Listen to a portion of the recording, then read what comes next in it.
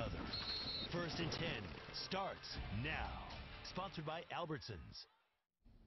All right, hi, hello, and welcome in to the Week 5 edition. It's the midway point of First Wow. and 10. I'm George Faust. Yeah, this season's been flying by. I'm mm-hmm. Madeline Adams. George, what a week five it was. Remember as well, your final scores are scrolling at the bottom of your screen. Madeline, you were at our game of the week, a big game. A big game. The 21st ranked team in the nation, Catholic High Baton Rouge in town to face four-time defending state champ LCA. First play of the game, Daniel Beal throws a dime to Shelton Sampson. Nice. Reservations for six, and the Bears making a statement early. But LCA, they would answer quickly. Juwan Johnson drops back, throws a laser to Alonzo Reyes. Toe to toe we go, all knotted up at seven.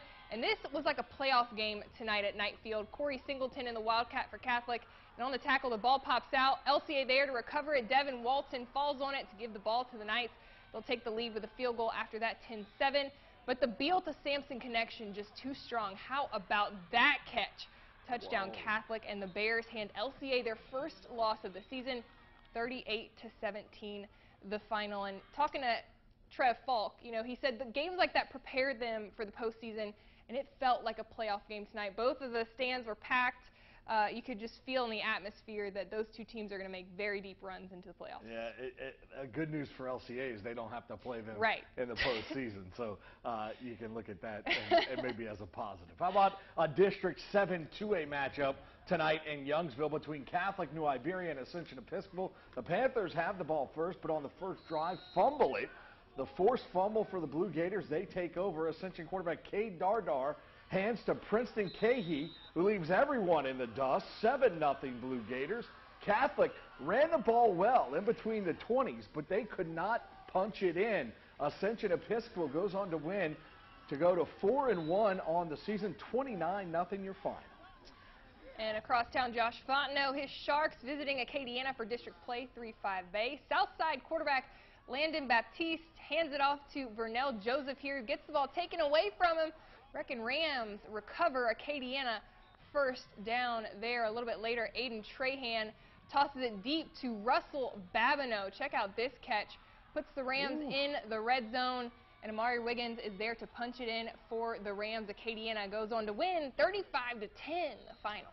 Another week of high school football, another tough competition for the STM Cougars, taking on Ruston, the Bearcats, up 27-7 in the second, but STM's Walker Howard throws this dime to Baron Sawyer. Watch this catch, oh my! Unbelievable toe swag drag right there. 27-14 after that. Ruston was tough tonight, though. They responded with, with what seemed like an easy drive, a 45-yard run here for the Bearcats. That was a touchdown. Ruston pulls away. Walker Howard leaves this game with a lower leg injury. His status unknown. We'll, of course, keep you posted on that as the week wears on. All right, how about Carencro and St. Martinville? Hills? Here is St. Martinville. Big run there. And then how about this? Wow, we've seen a lot of big plays tonight. That is a huge interception for the Bears. Carencro goes on to win this one 45 to 12 over St. Martinville. All right, how about this? The cameras arrive at Cougar Stadium, LCCP and Westgate. LCCP down 14 to 6 to Westgate. Things only get worse for the Blazers. And how about Diedrich Lachele taking the halftime kickoff, cuts it back, and, well, you can put it on the board.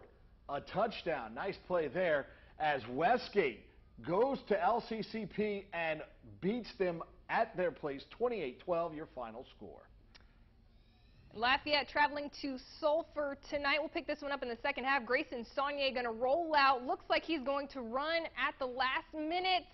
He finds Hmm.